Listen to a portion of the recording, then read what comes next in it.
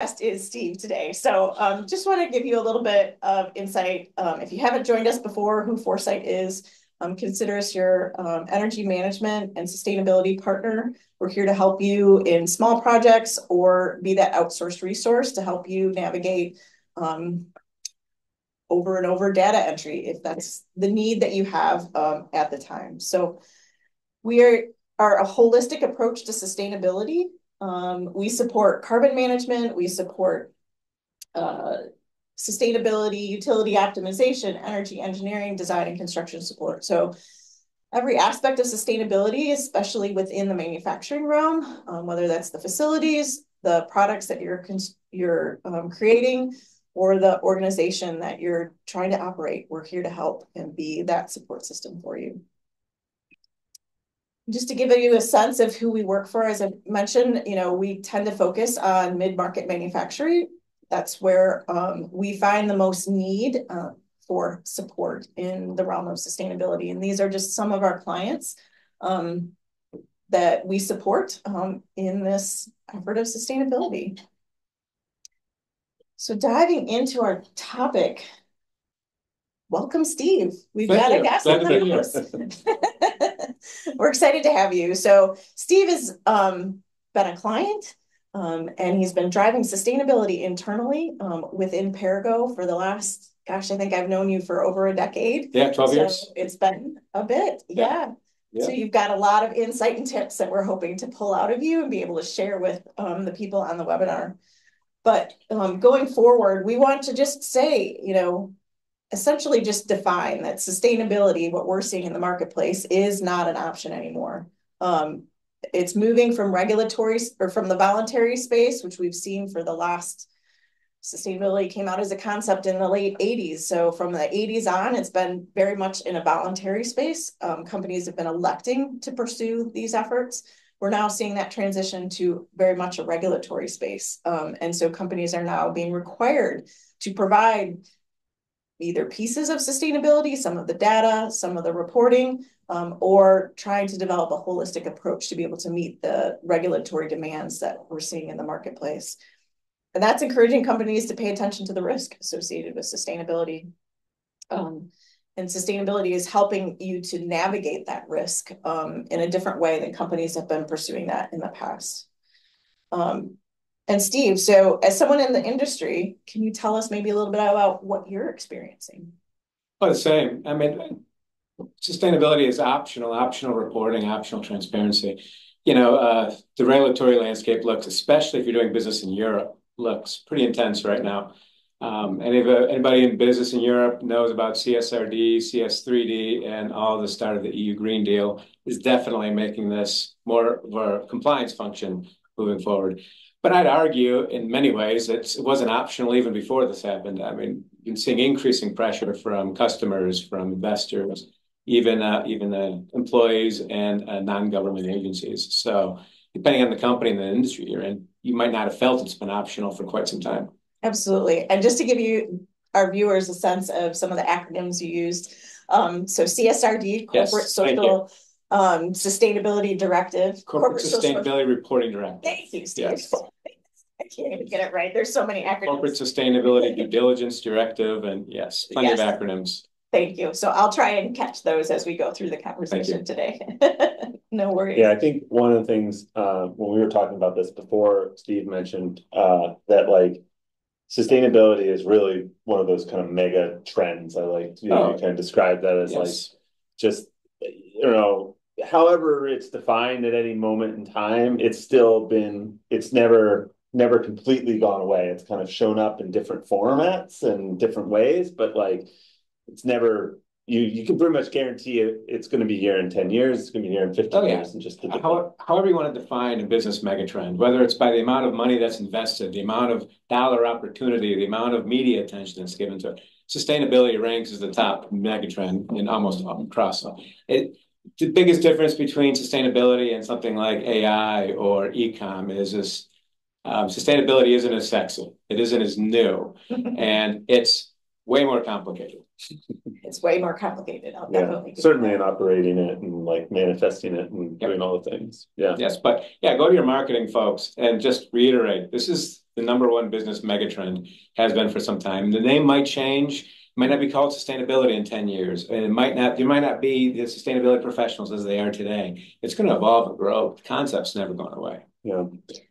Yeah, I think I think one of that that trend and that regulatory kind of flip um, has uh, really speaks to the opportunity at the moment, which is, you know, we can we can look at it as some as either being pushed or pulled into this this space, right? We can look at it and say, oh, our customers are demanding more, or uh, uh, regulatory bodies are demanding more, and we can focus on those on a kind of uh, on a singular level. But if you think about it as a trend, what you're also noticing is it's actually uh, we're asking something different of companies, right? We're starting to really uh, to to shift what we expect companies to do in this space, and I think uh, you know it is this you know a paradigm shift shift, and I uh, you know I cringe a little bit on some of the business like jargon, right? But it is like uh, what we've where we've seen the most success um, is when companies stop focus, focusing it on it as these singular moments in time and being surprised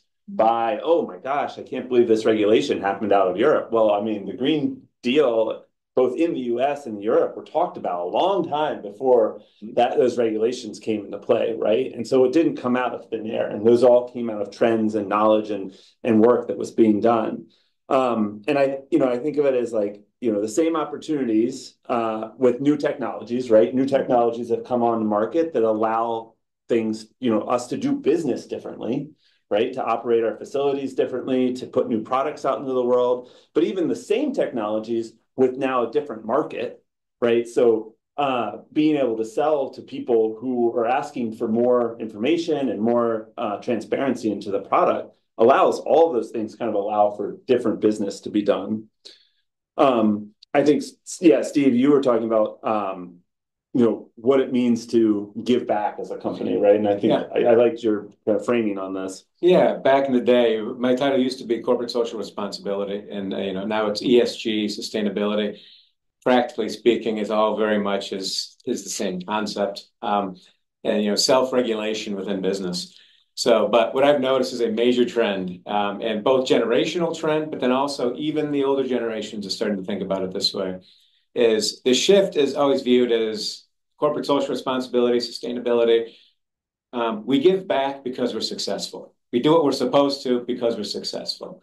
And that shift is now is no, we're successful because we're giving back and because we are doing these things. We're creating a shared value. Um, and that's the shift that I'm noticing that happening. And that's requiring, it's only allowing for, but it's requiring the need. And this is where all this complexity and people not always knowing what they need to do. So it requires the business to actually integrate sustainability into their business thinking. Mm-hmm. It's actually another leg of the stool. It's not a different stool entirely. Yeah, absolutely. I think the um, the metaphor we started to to kind of circle around was, you know, with losing weight, mm-hmm. right? Like uh, to really be successful at losing weight, you really have to integrate it into your lifestyle, right? And there are a lot of uh, weight loss programs, right? The the the shake or the fast or you know the whatever it is. Keto. Yeah, exactly. Get a lot of sleep or maybe exercise a lot, but it is really a holistic approach that changes um, whether or not you're successful in that and whether you're not you're successful over the long term too, right? Right. Well, then that's where sustainability professionals come in because you set a New Year's resolution to lose weight. Okay. Um, if you don't measure yourself, if you don't set goals, if you're not measuring what your current weight is, if you're not talking about it and you're not, the odds of you being successful are quite less, low. Less than. But if you have if you have a personal trainer that's not only measuring you, helping you set goals, giving you action plans to be able to follow through on, going on social media, giving people updates, holding you accountable to it, it doesn't guarantee success, but it certainly improves your odds. Yeah. That's where a sustainability professional, in my mind, at least that's where I've always felt I fit into Perrigo. And that's where I see the role that we play. Well, you help create that paradigm shift. I mean, change is hard, especially in business. Um, you know, processes. You can't just convert a process um, overnight to make a shift in um, production. And so being able to have that champion, um, you know, driving those conversations and driving the questions that need to be asked, I think that's a really, you know, key space for sustainability professionals. Well, and change is hard. And being a sustainability professional is hard too if you're not used to this. And that Change requires you to get into the trenches and duke it out. You're duking it out with with production projects with way better ROIs. You're duking it out with a lot of things that other business topics that are legitimate. Mm-hmm. Um, just because it's sustainability doesn't mean it's going to get approved. Right. You got to fight for priority like anything else. Mhm. So companies are starting to try and feel this need to respond because sustainability is becoming more and more um popular as a topic, becoming more communicated in media. Um, and so there's companies are starting to address this by hiring a person um, to be that champion. Um, I can sympathize. they're filling out, you know, and then that person gets in, in, you know, into their position. And then they're inundated with, say, surveys that their customers are starting to ask for um, that all relate to sustainability and sustainability topics. Um, you know, please tell us what our recycled content is of your product, or please tell us what the chemical ingredients are of your product. And as Which product certification should we go after? Yeah. Yeah. And start to chase the requests. and so they're being completely inundated with all of these external things, and they're struggling to figure out how do I create a strategy? It's almost like they're getting stuck in that space. Um, and so what, like, looking for that, you know, comparing it, I guess, to the, you know, the concept of a diet, like they're experiencing almost like this juice cleanse. Yeah, try this, try this, try this, right? Yeah, Yeah. yeah. Yeah. Or they're looking for a diet. They're Mhm. looking Yes, for a there diet plan, which isn't going to achieve you long-term success. Yeah. And so there, the the other thing that we're seeing too is, is sustainability professionals like throwing ideas out, like the, the ones that come across their plate, they're gonna throw it out and maybe it'll stick, maybe it won't, and, but they have to keep throwing those, and, Yeah, you know, concepts out, which is something you described quite significant. Yeah, you know, I, I, I said that, I say this frequently as a joke, but it's not really a joke in that, you know, just, you know, when I look at our customers, um, and even employees, uh, but, you know, customers predominantly, because that's kind of where Perrigo got our start with sustainability.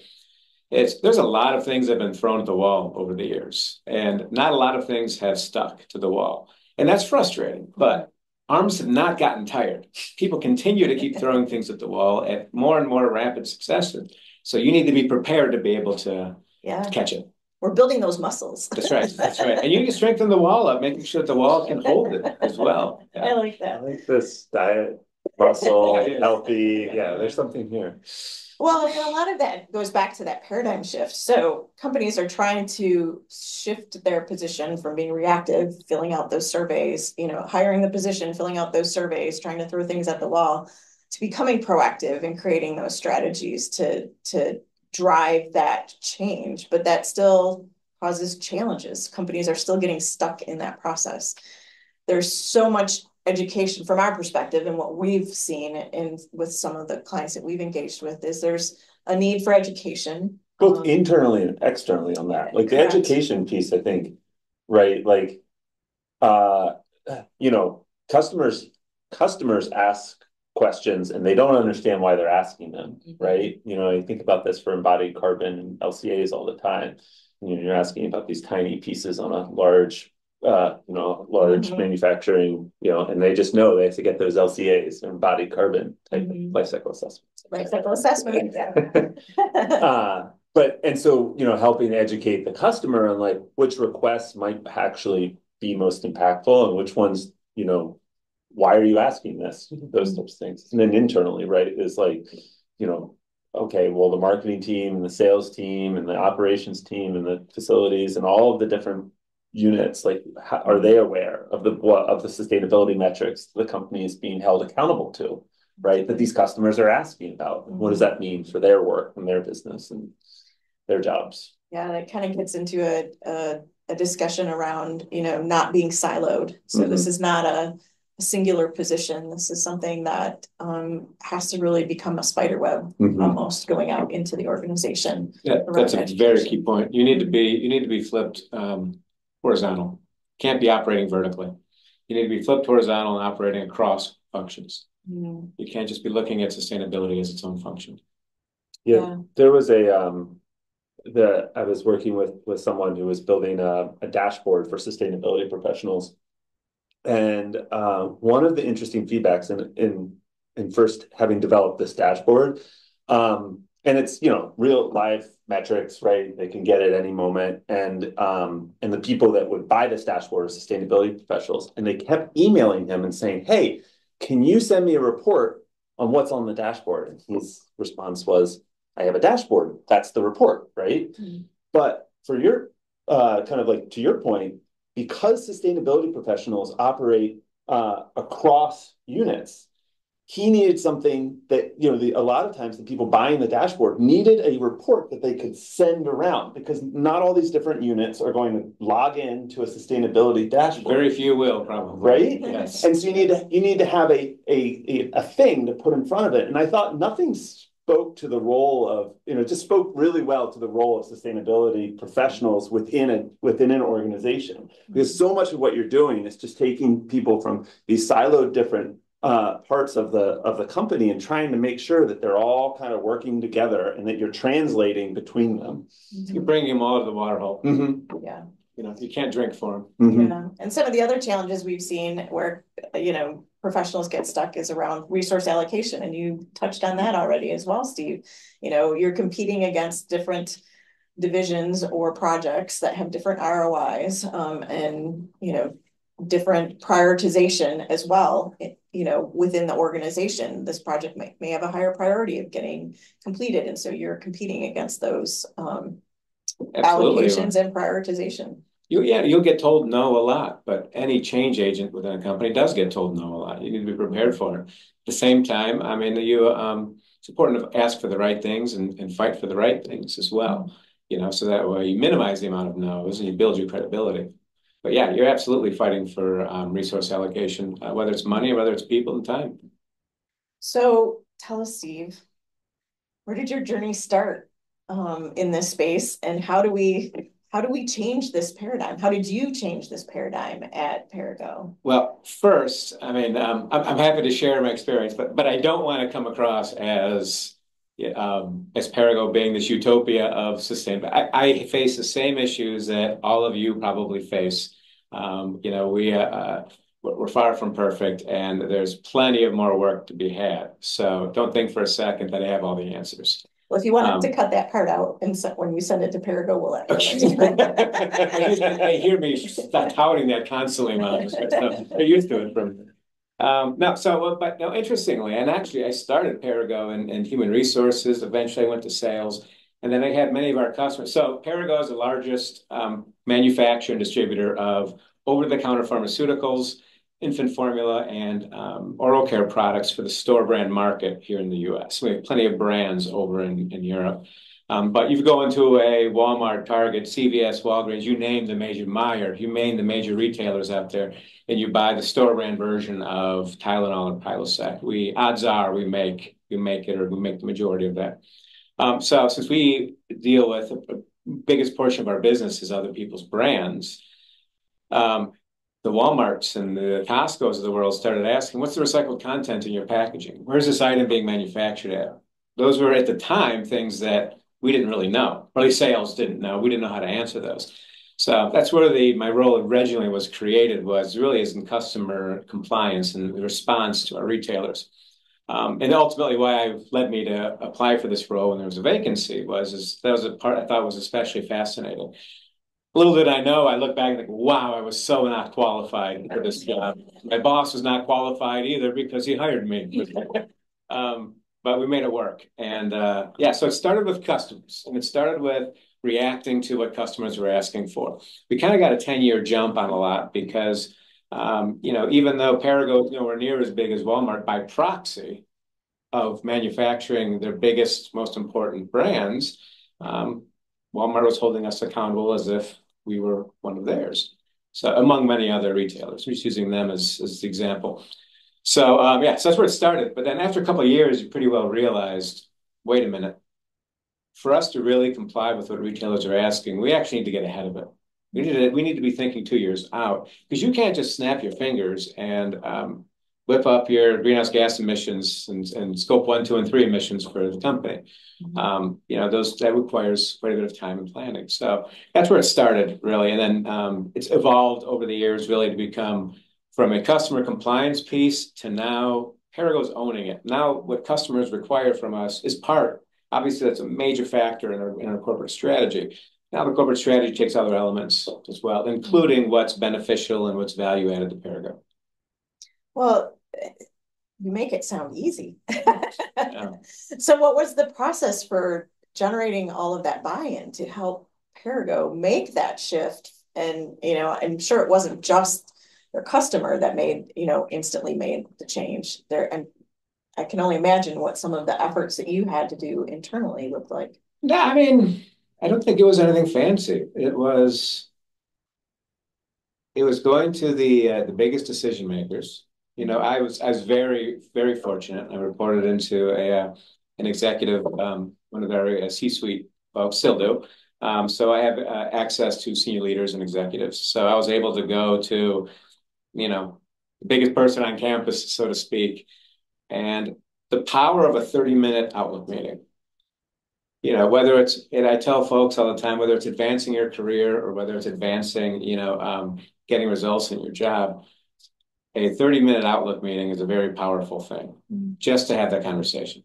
So, yeah. So, so when you're describing outlook, you're you're projecting what the future might look like. No, what I'm saying is you, you get a half an hour on somebody's time, you talk to them. Okay. Talk to them, and you um, yeah, you, for me, I would just say, look, here's the challenge that I have to face. What are your thoughts on how I should get there? Mm-hmm. How can you help me? You know, and you're you're also pulling that right from the customers, so you're kind yes. of yes. So like I was the voice a, of customer, right. voice of investor, um, a voice of employee because employees weren't shy about their thoughts on it. Um, and really, that's where the personal trainer piece. I mean, mm-hmm. I was mm-hmm. there making the case, mm-hmm. making the business case.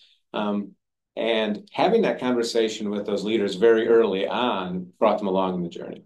Mm-hmm. So that was a big piece. Um, and it just takes it takes time. It takes time and it takes you constantly going back, having those conversations.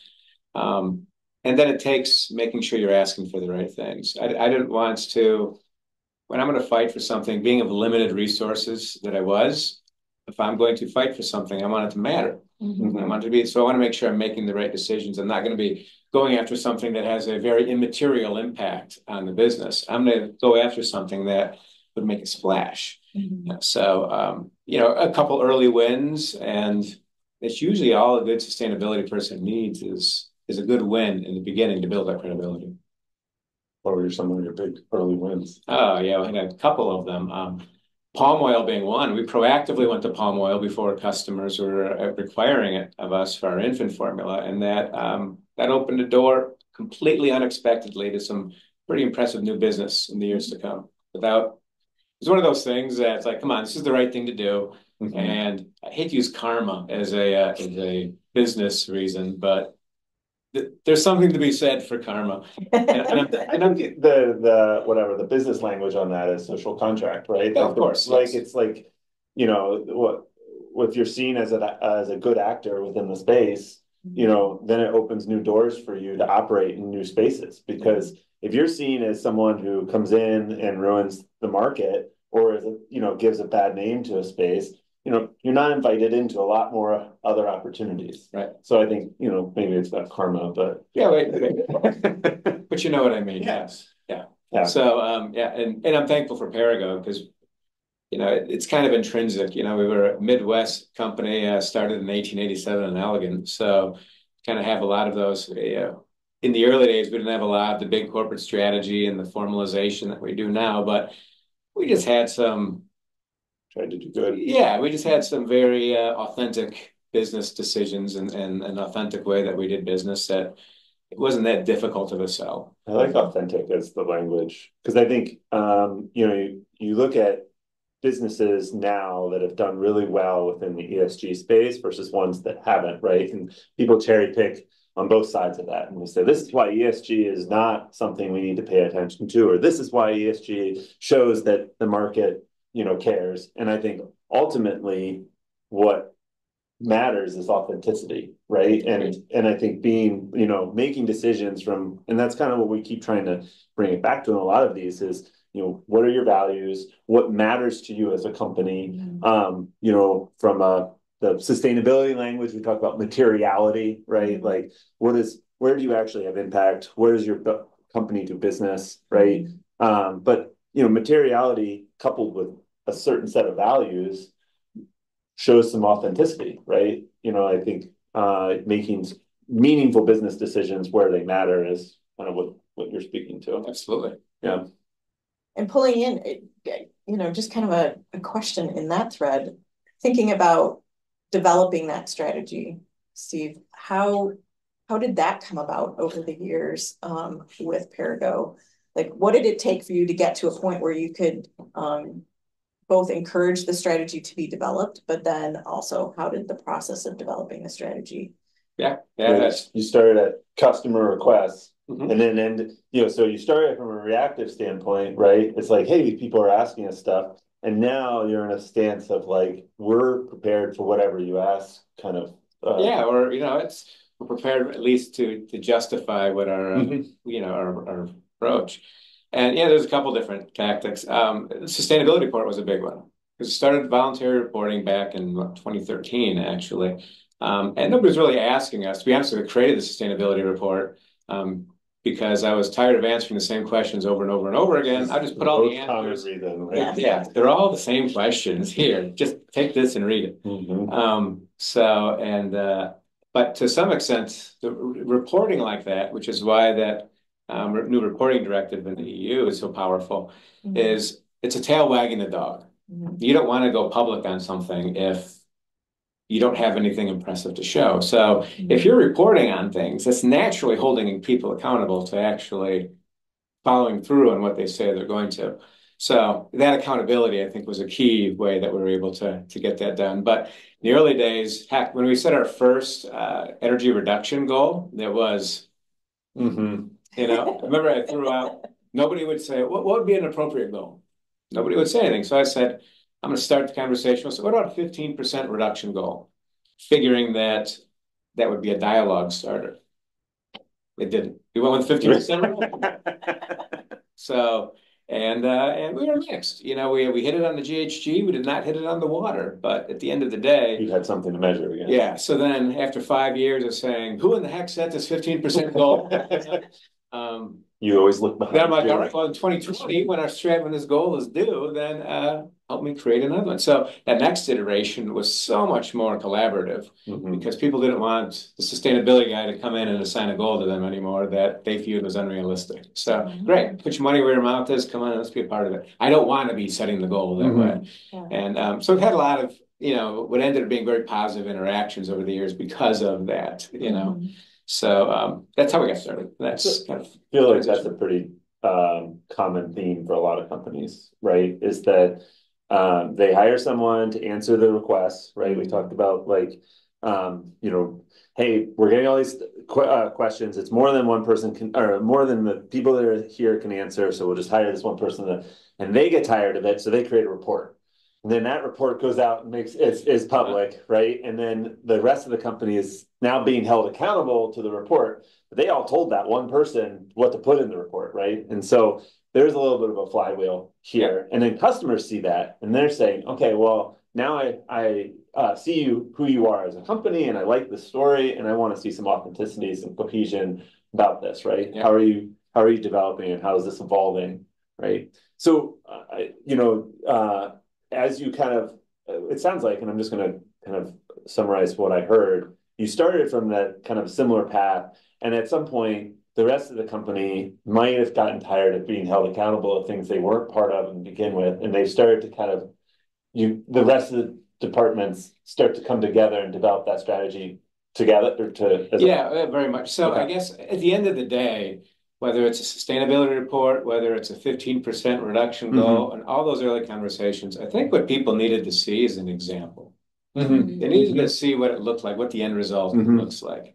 You know, when we had a sustainability report, I mean, there was there was no appetite with the company to have a sustainability report until I just went and created one. Mhm. And we showed it to the executive team and say, look, there's really nothing, they, they loved it. There's nothing Yeah. to be fearful of. Mhm. Um, this fifteen percent or a reduction goal is nothing to be fearful of. In fact, a lot of people liked it because it allowed them to uh, give them another bullet point at the very least as a justification for a project they might want to do. Mhm. So, um, that makes a, that resonates a lot because I think um you know even with as it relates to some of this regulation out of Europe out of California um it's it's not been done before, or like that type of reporting is new for a lot of companies, and trying to understand what it looks like is the scariest part. And when you actually start to dig into it and see it, you and and then this is our paradigm shift talk, right? Is when you start to understand it, you you can start to see it as an opportunity to tell a story. Yeah. Set a goal that justifies new projects that allow us to do business in new ways. You know those types of things. So create the baseline. Right. I think a lot of that came back, you know, those goals allowed you to create a baseline too, that you could work, to- you know, that you Exactly. started from to work toward. kind of like a conversation starter. Almost, yeah. So I'm curious too, you mentioned a lot about collaborating, you know, once the report came out, you were able to then pull other individuals in from the organization.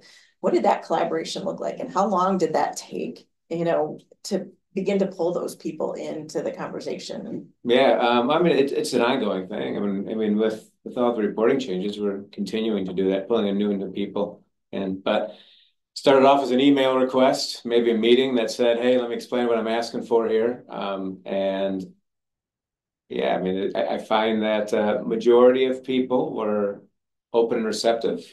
Um, I knew where our gaps were after that. If there's things that I wanted to report on or we needed to report on that we didn't have the data for, so um, you know, it just it's just a matter of yeah, asking for it. That's if there's one piece of advice that I would actually give to any sustainability person is ask. Don't assume. It Right. reminds me of I remember when uh, when I uh, first met my wife. She called up my credit card company and said, "Can I have a lower interest rate?" And you know what? They said, "Okay," and they gave me a lower interest rate. Like, wow, that is a life lesson right there. It applies to everything. Sustainability, most definitely. Absolutely, you gotta advocate. If you don't advocate, nobody Right. knows what you need. And then change does, happens a lot Right. slower because the request hasn't been made, the communication hasn't happened. I mean, think about this all started from a customer ask. Right. Mhm. That's exactly right. So, you know, it- it- and I think about that a lot too with, um, you know, we, we work with companies to do new product design, right? And, um, a lot of times designers feel, um, beholden to the, the materials that they've always been using, right? And they'll often say, well, our suppliers can't do this. They don't have this information. We don't have this information. We don't know what the chemical makeup is of this, et cetera, et cetera. And, you know, I think the first step is, well, did you ask your supply chain, right? You know, find out what information is available and they start to get those questions, then they'll hire their sustainability person who will do this first report and then, you know, kind of And flywheel there and then they'll start giving you new answers. And did you ask the right person? Right, the supply right, chain right, As well, right. because if you can get past those salespeople, Yes. you actually get to the people that know the answer and it's Yeah. usually not that. big But even the sales, you know, the sales teams, they get tired of hearing the same question over and over again and they want, that's, you know, to your point, that's kind of where you were, right? And then, I think those Seek that out. questions are, s- are key because, I mean, I'm, j- it's reminding me of another customer that we were working with. Um, who was trying to pursue science-based targets. Uh, and they were creating their goals, but they kept saying, well, we were. Building a new building, so we're going to start trying to achieve science-based targets after that building's built. And it's like, wait a second, you know. How come you're not asking the same questions while you're constructing this new building? Like, are you thinking of, is there an opportunity? Has it, has design? Now's the opportunity, right, Right. building it, yeah. Yeah, so can we start asking those questions before that design phase has finished? Um, and instead of pushing it off, like, we're making those decisions now and asking questions, you know, upfront versus afterwards. Well, and that's the other thing I, I learned in the space is it's a lot easier to do new things than it is to change the old things. So, Especially when you're dealing with a big company with a complicated supply chain, mm, trying to fix those things, it needs to happen at some point, but um.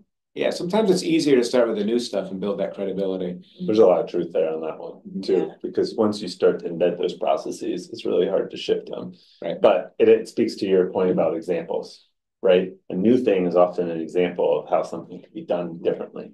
And if you're showing that, you know, this new product can perform just as well, or this new process can perform just as well, or has a lower ROI, it puts pressure on the embedded systems to change, right? You know, if a new boiler that's electric or a heat pump boiler can perform just as well as the gas boiler with a lower carbon footprint, I don't know that it can, and every facilities manager always cringes when I say electric boilers, but you know, if you get to that point, you know, it becomes a lot harder to justify, you know, your existing gas boiler, for Yeah. example. Yep.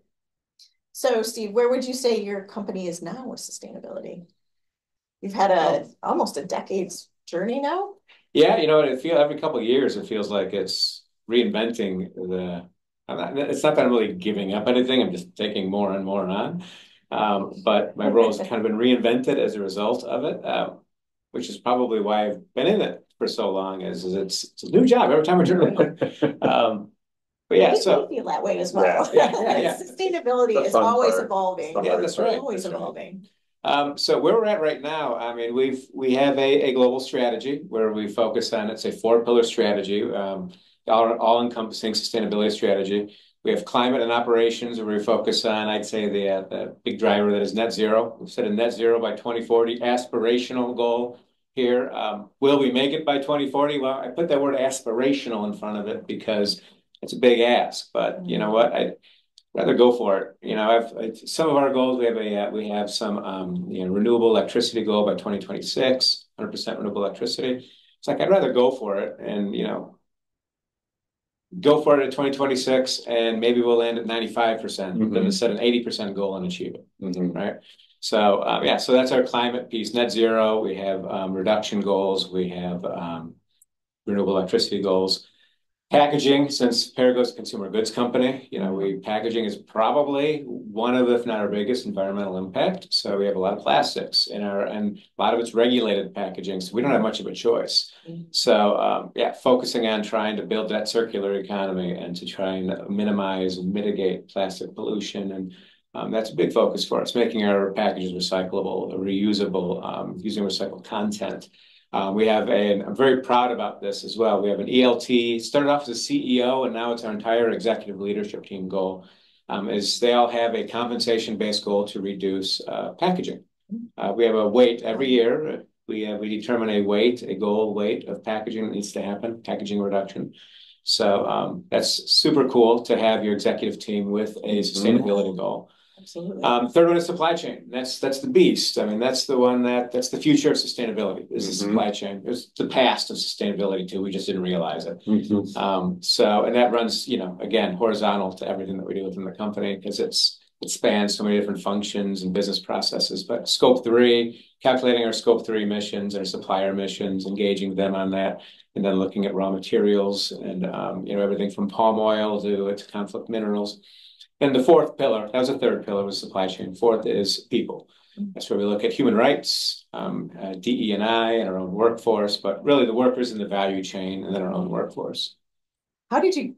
What was the process to get to a point to develop that strategy? Like, you know, did that come from years of you know, just collaboration, or was there a single time event? Were there different communications that you engaged in? It was not a single time event. It's it's it's an evolution, and quite frankly, thirty minute outlook meeting. Yeah, exactly. That's good. It probably good. We're four, four, three, four, five. Minute outlook meetings. um, yeah, no, it's uh, it's a lot of it was tribal, to be honest with you. So again, I'm fortunate to where coming from sales, I had a lot of interaction with customers. So I, I interact pretty regularly with customers, and as a result of that, and just since I had a small team, I interact regularly with our suppliers. Mm-hmm. So I'm one of the very few folks in the customer that I can get off our number one call with our number one customer and turn around and talk to our number one supplier. Um, I regularly I have quarterly updates with our board. I have quarterly updates with our executive team. And yet, a couple weeks ago, I went and did a presentation at the plant level, talking to plant associates. So it's like highest folks in the company, you know, all the way down to the, the floor and where all the work actually happens. So um, I'm fortunate to have, and my feelers are always out. So as the voice of customer is fairly easy for me. Voice of customer, voice of mm-hmm. constituent, to be able to put it all together.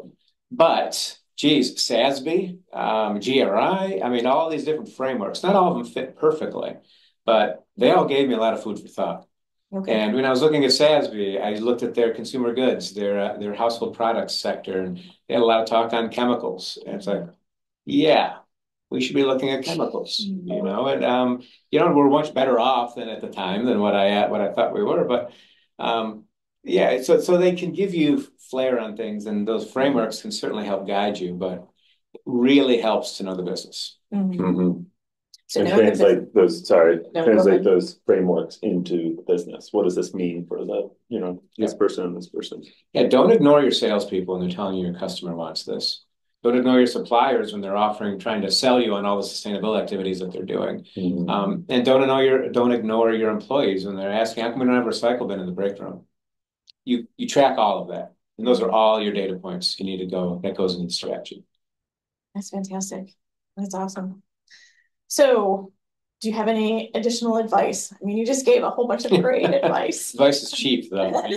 Yeah, the hard part is executing. Believe me, I, I know the challenges of that. Um, yeah, no, I guess what I uh, what I always tell my kids, it's you know, um, the measure of a person isn't necessarily when you're winning. Mhm. Because when you're winning, it's easy to be the best version of yourself. Mm-hmm. The the hard part is who are you is defined by when you're losing, mm-hmm. or when you don't feel like you're getting ahead, or when you're frustrated. That's when the rubber really hits the road, and that's when you should. And you know, various times with sustainability, that's exactly how I felt. Is is you know, when if I'm running up against the wall, try not to view things as walls. I view it as hurdles. Mm-hmm. Okay, either uh, you know, I might need to leap especially high. I might need a trampoline to help me with this, but nothing really is a wall in this space. They're all just hurdles. So, yeah, I mean, have good conversation, build good relationships, um, be respectful of people, their time, and you know, just keep plugging away. So you're a global company. Mhm. How big is 20, 22 to 25 countries at this point. how big is your team? Uh, my my my team grew this past past um, couple months. Um, really just a re restructure from reporting into procurement to reporting into a supply chain and reporting into me. But um, I have a team of six direct reports. So if you factor off some of the uh, some of my my side hustles, things that aren't related to sustainability, six. That's that's a good team, but your company is still really big for that size of a team, for the amount of efforts and actions that you're trying to implement. Well, well, I'll be how seriously the amount of people I have you on my team are the nine thousand employees we have run for us. Mhm. Because I am not afraid to ask. In fact, Mhm. that's my default is needs to be integrated in with the business. I'm gonna go to the business and say, can you do this for me? And more often than not, well, I don't say they refuse. No, they more often than not, they probably say yes or yes, but but that's the start. Yeah, I think the, the power, like to really be effective, uh, with a small team Mhm. is to enlist. And that seems to be what you've done a really good job on, is ask other people to help solve those problems. And then all of a sudden, it might not be a direct report, but they're kind of on your team because they're working with you. They're not kind of, they are. Yeah, They're on your team. Yeah. Yeah. And like I said, I won't belabor the ask point, but ask. just keep asking. Yeah. Well- Make sure you wear them down. And for those of our, you know, viewing audience that may not have a team of six, um, you know, just that concept that they can ask others within the organization that they're not a singular entity trying to do all of this work. Um, and to, you know, develop that strategy essentially that you defined and helped Perrigo define for itself and identify the opportunities for others as to where they could have impact in this effort, um, as well as yourself, so that it, you spread those actions across the different or different facets of the organization. It's essentially you're creating a you created a roadmap, um, some a term, a service that we offer here at Foresight, which is to help companies on their journey by starting with strategy and and creating that corporate language so that they're all talking the same thing at the same time, um, creating the, the strategy, the prioritization of what are the actions? Can we all as a, as a group of leaders align with, uh, you know, the actions and the priority that we're gonna have going forward? Do you remember ten years ago? When you guys I- did this great? Yeah, I I do, re- yes. definitely remember that. What was it? We had a, made into a table mat, remember Yeah. that? Yes, We- yes, Yeah, we had place, I called them placemats, and we had Placemats, yeah, yeah. all of your, all of your efforts on the placemat, um, that Perrigo had had at that time, and then we're, you know, little sticky notes. Stakeholders. Wendy and I Sticky went in the notes. hallway, we were moving sticky notes around and Bill was in the others, uh, yeah, the, Yeah, that was, Good stuff. it was good stuff, it was a The journey. great starting point, yeah, yeah. Yeah, yeah. absolutely. Taught me a lot.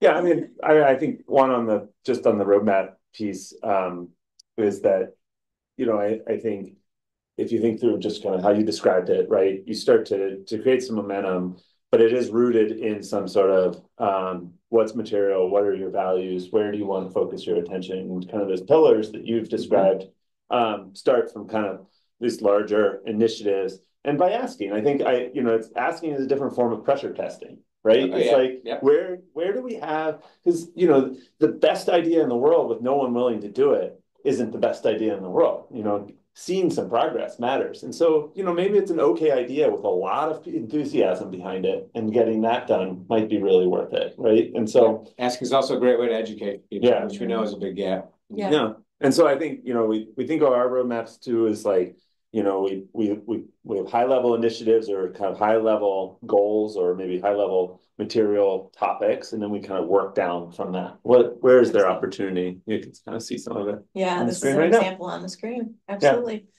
So I'm sorry, I, yeah, just took us over. That's time. okay, we're gonna, we're gonna jump into questions and, um, questions and answers from the audience, so we've got a few, um.